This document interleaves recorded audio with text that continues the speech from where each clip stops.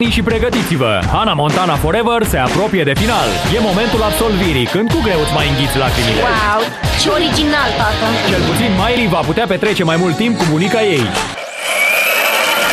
Ce zici de asta? Dar să fii superstar e cu totul altceva. Se apropie clipa despărțirii de prințesa pop a unei generații. Nu ratați unul dintre ultimele episoade din Hannah Montana Forever. În premieră sâmbătă 26 martie la 9.25 numai la Disney Channel. La